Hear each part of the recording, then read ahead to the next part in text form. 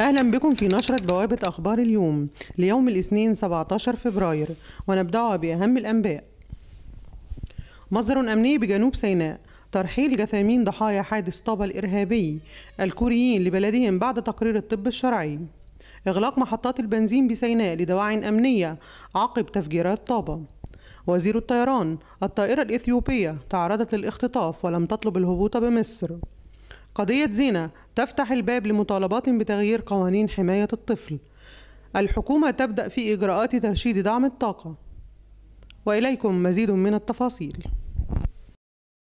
قال مساعد مدير أمن جنوب سيناء اللواء محمود سامي إنه سيتم ترحيل قتلى حادث طابة الإرهابي وعددهم ثلاثة كوريين إلى بلدهم كوريا الجنوبية بعد إعداد تقرير عن القتلى من الجانب الكوري بالتعاون مع مصلحة الطب الشرعي عقب الانتهاء من معاينة الجثث.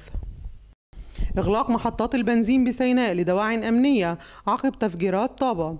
شهدت محافظة جنوب سيناء إغلاق معظم محطات البنزين المتواجدة بمداخل ومخارج المحافظة لدواع أمنية عقب التفجير الإرهابي الذي استهدف حافلة تقل سائحين بمدينة طابة.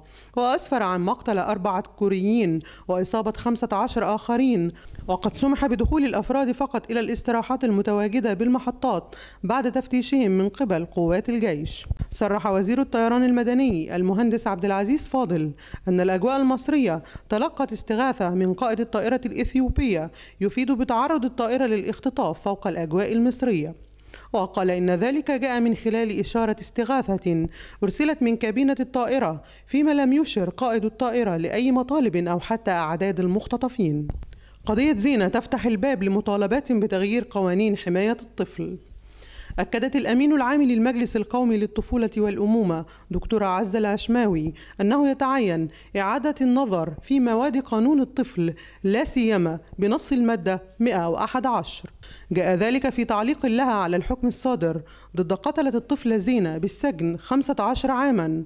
وشددت الأمين العام للمجلس على ضرورة تعديل القانون لكي لا يصبح مدخلا لارتكاب الجرائم والاستفادة من العقوبات المخففة والاستثناءات الإجرائية بحجة أن المتهم لم يتجاوز عمره الثامنة عشر. الحكومة تبدأ في إجراءات ترشيد دعم الطاقة. قال وزير البترول والثروة المعدنية المهندس شريف إسماعيل إن الحكومة سوف تبدأ في اتخاذ خطوات فعلية لترشيد دعم الطاقة قريباً. وأضاف الوزير على هامش مشاركته في مؤتمر مستقبل وفرص الاستثمار في الطاقة الجديدة اليوم أن خطوات ترشيد الدعم سوف تستغرق ما بين خمس إلى سبع سنوات لتطبيق منظومة ترشيد الدعم بالكامل. انتهت نشرتنا اليوم. لمعرفة مزيد من التفاصيل والأخبار والمتابعات زوروا موقعنا الإلكتروني www.أخباراليوم.com